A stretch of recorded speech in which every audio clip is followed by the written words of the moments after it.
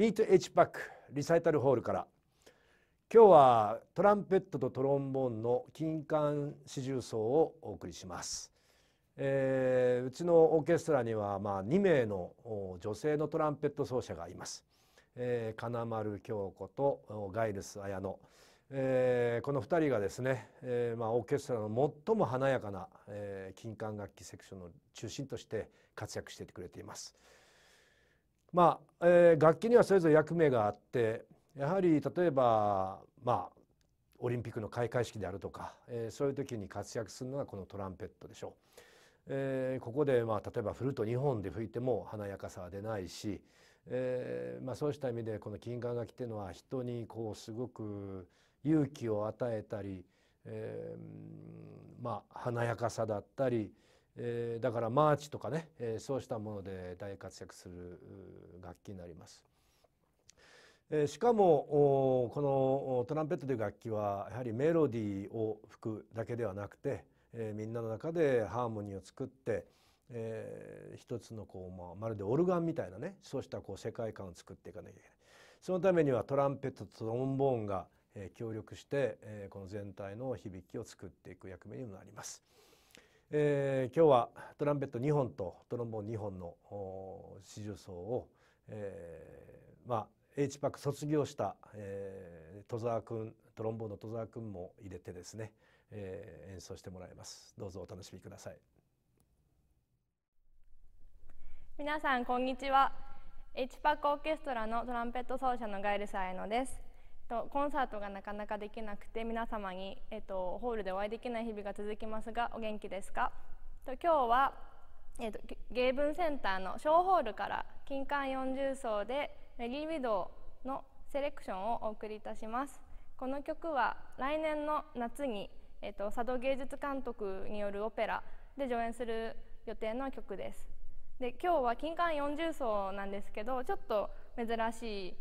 編成の40奏で演奏します。一緒に演奏してくれるのはトランペットの金丸京子さんと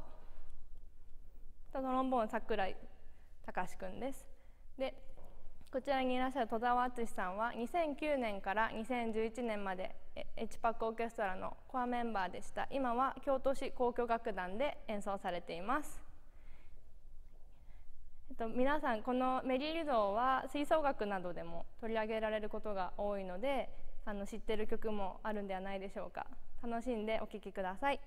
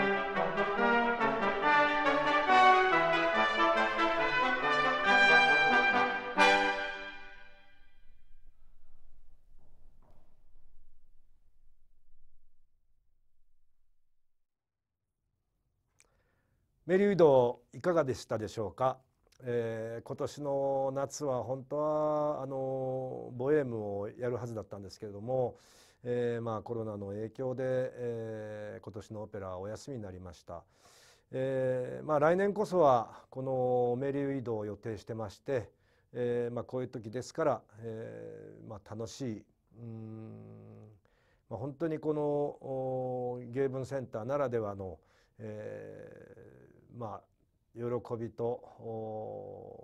明るさのあふれたね、えー、舞台を作りたいなと思っています。えーまあ、前半で金管楽器というのは非常に華やかな楽器っていう話をしましたがあのトロンボーンのあの桜井君っていうのはあのとってもこう柔らかい音色を持ってるプレイヤーです。えーまあ、ビリアの歌であの素晴らしいソロを吹かしあの吹いてくれてましたけれども、えー、非常に、どの楽器にもよく溶け込む、えー、あの素晴らしいトロンボーン奏者だなと思っています。えー、まあこのメンバーたちがこのパックの一番のこう輝かしいところを背負っているのは間違いありません、えー、これからも彼女たちの活躍をぜひ楽しみにしていただければと思います。ではまた次回。